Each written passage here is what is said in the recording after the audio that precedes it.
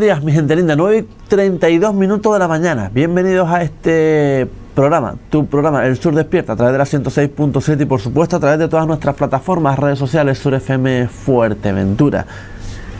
Miércoles 26 de junio del 2024. Eh, ya digo, eh, son días complicados, son días difíciles, pero hoy voy a extender un poquito más, ¿verdad? Hoy voy a, voy a intentar perdón, voy a intentar hacer lo que no pude hacer en el día de, ayer. ¿no? Eh, hoy, para cerrar el espacio del Ayuntamiento de Pájara Informa, nos visitan los concejales de Coalición Canaria para hacer el balance, ¿verdad?, de este año de legislatura que ha tenido lugar en el municipio de Pájara. Recuerda que el pasado 17 de junio el alcalde Alejandro Jorge tomaba posesión y el 19 se delegaba las funciones a los distintos concejales del grupo de gobierno, hasta 14 concejales que forman este grupo de gobierno de Coalición Canaria Partido Socialista en el ayuntamiento de Pájara. Bien, eh, hoy vamos a hacer ese amplio repaso. Y hoy eh, vamos a empezar, a partir de esta semana, de hoy y en los días venideros, una campaña, ¿verdad?, para reivindicar que en Morrojable exista una logopeda o un logopeda, ¿verdad?, que no tenemos en Morrojable, que las personas de Morrojable se tienen que desplazar hasta Gran Tarajal con lo que eso conlleva, ¿verdad? El tema del transporte, el tema de eh, eh, ya solo el llevar al, niño a, niña con estas dificultades que ya de por sí tiene, al logopeda, a, la logopeda, a, a Gran Tarajal son 60 kilómetros de ida, 60 de vuelta, son 120 kilómetros, es decir, ya, mm, ya cuesta a los niños que, no, son, no, son especiales, no tienen esas dificultades, ¿verdad? Ya, ya, ya les cuesta, eh, yo hablo por mis hijos, evidentemente, cuando los veo buscar, los bajo para morro, después los, los subo a Gran Trajal, etcétera, etcétera, ya les cuesta esos, esos 120 kilómetros, porque son 60 de ida y 60 de vuelta, ¿no? Les cuesta, pues imagínate, ¿no? Pero claro, eh, yo no sé lo que hay que hacer para tener una logopeda o, una logopeda aquí en el centro sanitario de Morrojable o, si hay alguna de, esto privada, pero, de verdad no, lo entiendo, no entiendo por qué perdemos, vamos perdiendo servicios aquí en la zona más al sur. vamos, perdiendo, es decir, en vez de ganar servicios o, ganar eh, sí, servicios, vamos perdiendo, es decir, vamos para atrás, como los cangrejos vamos para atrás, en vez de, en vez de ir para adelante, vamos para atrás, perdemos servicio. ya digo, el, logopeda o una logopeda o un logopeda hace tiempo que se tuvo aquí en Morrojable. Eh, pero claro, lo hemos perdido desde hace tiempo, evidentemente, no da ahora. Y no lo entiendo. Por eso desde hoy empiezo una reivindicación que esperemos que eh, llegue a buen término y que de verdad que se pongan manos a la obra para poder tener un logopeda o una logopeda en la zona más al sur de la isla de Fuerteventura. ¿verdad? Eso por un lado. Por otro lado, eh, ayer saltaba la noticia, ¿verdad? Y si no sabes te lo digo yo, en la cual el Ayuntamiento de Pájara facilita a los ciudadanos que eh, no tengan que desplazarse a Puerto del Rosario para inscribirse en la bolsa de vivienda social. Eh, además, eh, lo puedes hacer en la tenencia de alcaldía de La Lajita. La concejala de accesibilidad y vivienda, Evangelina Sánchez, destaca que algunos, que desde el grupo de gobierno se quiere reducir la carga administrativa y los desplazamientos que la población de Pájara tiene que realizar para llevar a cabo determinados procedimientos que comentar, lo decía también ayer Pedro Armas, que el alcalde de Pájara había dicho que solamente hay 30 ciudadanos de Pájara eh, inscritos en el eh, Instituto Canario de la Vivienda. Bueno, pues el Ayuntamiento de Pájara ahora ha habilitado un punto para que todos aquellos que quieran eh, realizar esa demanda de vivienda en el municipio de Pájara tienen el sitio eh, perfecto en la lajita para apuntarse. Recuerden que tienen que ir e inscribirse, es decir, si no lo aparecen allí como que están buscando vivienda y demás, acudir e inscribirse. Y yo siempre lo he dicho, que la unión hace la fuerza, así que ya saben lo que tienen, lo que, tienen que hacer. Hoy eh, a, las 11 tendremos ese espacio terminamos los espacios también. Ayer se terminó la oposición de Pájara Informa, hoy se termina el Ayuntamiento de Pájara Informa. Mañana y el viernes vamos a ver cómo. Cómo, tengo el día, porque ya digo, es que hoy no hay, hay, muchas veces que no se está, no se está, no se está, pasan circunstancias y no se está. Eh, además, además, eh, ayer se reformó el, el, CJ, el CGPJ, el Tribunal Constitucional, creo, creo, creo que se dice se dice así, discúlpenme si no se dice así, porque yo soy un ignorante en la, en la materia, ¿no? Eh, ya se pusieron de acuerdo Partido Popular y Partido Socialista para renovarlo. Sí, eh, bueno. Es el pacto para reformar el poder judicial, ¿verdad? Ah, eh, yo, yo no, lo que yo no entiendo de este país es que se dicen que hay tres poderes, el legislativo, el ejecutivo y el judicial. Y son tres poderes totalmente independientes. Pues por, no, no sé por qué se tienen que poner de acuerdo los partidos políticos.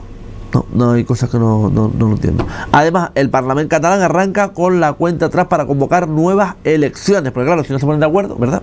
El Pleno del Parlamento da inicio a la cuenta atrás, eh, arranca un plazo de dos meses para convocar unas nuevas elecciones. Si antes del 27 de agosto no hubiese investidura, será necesario una repetición, una repetición de los comicios. Y ahí es donde voy yo nuevamente, y lo hemos dicho, lo hemos criticado en esta casa mismamente muchas veces pónganse de acuerdo. Es decir, la gente votó, ustedes tienen que ponerse de acuerdo, sí o sí. Es decir, votaron y punto. Y ya.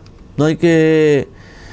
Yo creo que no hay que más otra vez, otra vez, otra vez. Este miércoles es la segunda vez en la historia del Parlamento que se formaliza un acto equivalente a una investidura fallida. El primero fue en octubre de 2020, cuando después de la inhabilitación del, expresidente Quinto Ra, el entonces presidente del Parlamento, Roger Torrent, tras una ronda de consultas con los grupos parlamentarios, constató y comunicó la imposibilidad de proponer a un candidato para ser investido nuevo presidente de la Generalitat. Además, ya ponen eh, fecha a unos posibles nuevos comicios en Barcelona, en Cataluña, perdón. En caso que ningún candidato logre ser investido presidente para el 26 de agosto, habrá repetición electoral. La fecha prevista para los nuevos comicios sería el domingo 13 de octubre, con el festivo del 12 de octubre como jornada de reflexión. Eh, el acto eh, empezará con Josep Rull leyendo la resolución firmada en la que se consta que no ha podido proponer a ningún candidato dentro del plazo que establece la ley. Posteriormente, los grupos parlamentarios, de menor a mayor, intervendrán durante cinco minutos. En el caso de la CUP y Alianza Catalana, al pertenecer al grupo mixto, tendrán cuatro y dos minutos respectivamente. Eh, empieza el pleno a las 10 de la ah, mañana, hora eh, canaria. Yo, sinceramente, ya lo digo, lo he dicho en multitud de, ocasiones, no lo entiendo. No, no, no, yo, y seguramente tú estás ahí, no, porque después dices, ¿y para qué voy a votar? Si al final después no se ponen de acuerdo y que voy a votar otra vez, y votar otra vez, y otra y votar, y votar, y votar, y votar. Y la gente al final se cansa de votar. Se cansa. Porque usted no se pone de acuerdo.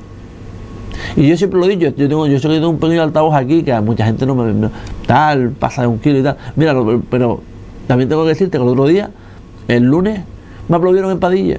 Sí, me aplaudió un señor que no conocía. Eh, dice, oye, muy bien lo que dijiste de Morrojable y tal, de, las fiestas, esto, lo otro. Y ahora iré con ello. Eh, pero lo que tienen que hacer es ponerse de acuerdo los políticos. Eh, San Juan, Morrojable eh, pasaron un cartel en la cual en el año 1966 se realizaban hogueras aquí en Morrojable y tal.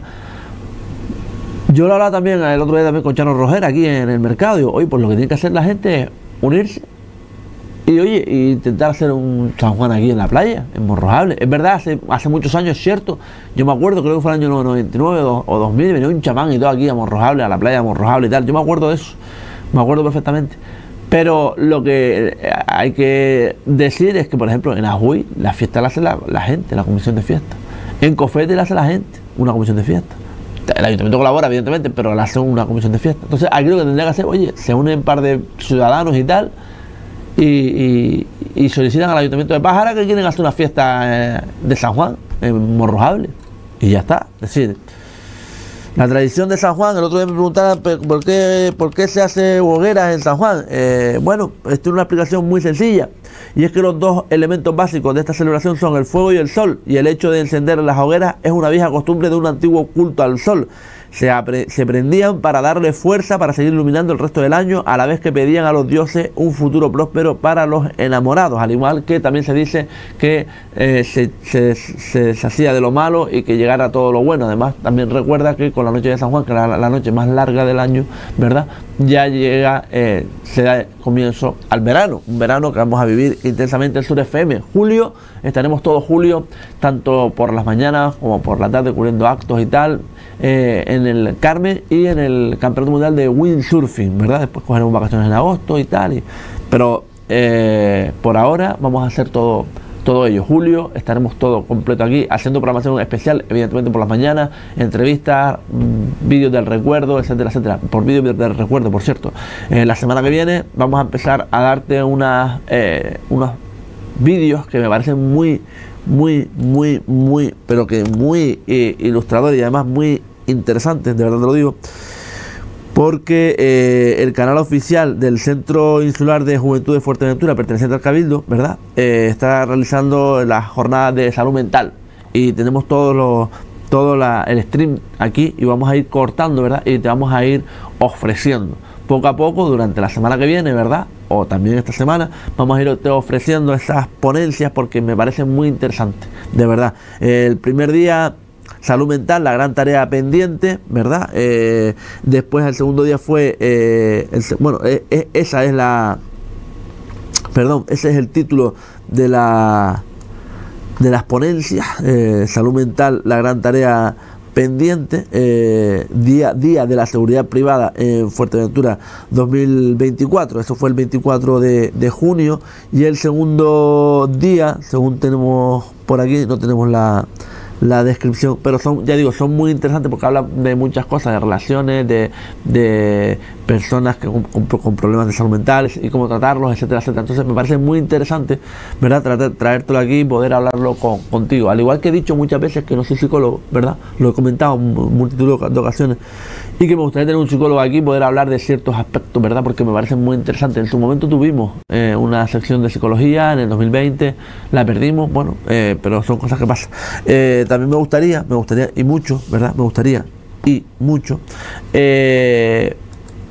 poder hacerlo, poder comentar y decir, y lo voy a hacer, que yo, yo emitía perdona que te corte, emití el pasado 6, 6 de mayo del 2024, decía, y lo sigo diciendo, que hay personas aquí en España, ¿verdad?, donde vivimos, que hay personas que no quieren trabajar en ciertos trabajos.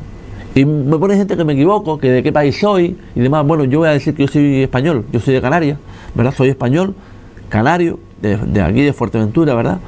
Pero hay que admitir las cosas y hay que ser autocríticos. Hay que ser autocríticos. Hay gente que no quiere trabajar en ciertos trabajos.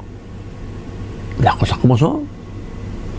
Hay personas que prefieren estar en su casa, ¿verdad? Y no ir a trabajar a ciertos trabajos, por lo que sea. Yo no voy a meter el motivo, pero que hay personas que no lo quieren hacer es así. Y dicen, no, es que vienen los inmigrantes y viene la gente de fuera y nos quitan los trabajos y tal. Yo voy a decir, seguir diciendo lo que a mí me plazca aquí. Muchas veces me dicen que por la lengua, eh, me tengo que mover la lengua, tengo que trincarme, hay que hay veces que no puedo decir ciertas cosas, pero ya vuelvo a repetir lo, que dije ayer, es lo que dije ahora, que digo, en Padilla. Me felicitaban por lo que decía Rojable, que la gente no se mueve, que la gente lo quiere todo hecho, la gente quiere eh, las cosas que se las hagan. Y eso no es así. Eso no es así. Por mucho que el ayuntamiento, que, en el ayuntamiento haya dinero, que, que están trabajando, que esto que lo otro si queremos algo, vamos a movernos también nosotros. ¿Por qué no? Eh, es verdad, es cierto que aquí en San Juan no se hizo este año, ¿verdad? Es cierto. Pues tampoco ha venido nadie aquí a criticar que no se hiciera San Juan en, Morrojable. Aquí no a esta mesa no me ha venido ningún vecino a solicitar una entrevista para criticar que no se haya hecho San Juan en Morrojable este año. No ha venido nadie, nadie. ¿Lo puedo decir yo? Claro que lo puedo decir perfectamente. Pero también te digo que si quieren San Juan, que se reúnan y que lo hagan los vecinos.